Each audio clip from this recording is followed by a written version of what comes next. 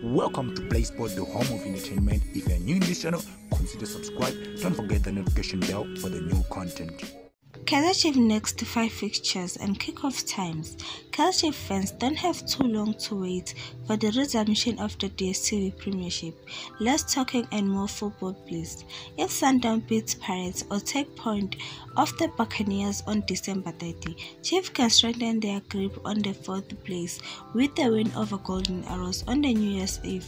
Chiefs beat Pirates in their most recent league encounter, thanks to that wonder striker from Yusuf Maart. It was a long time ago, in case anybody had forgotten.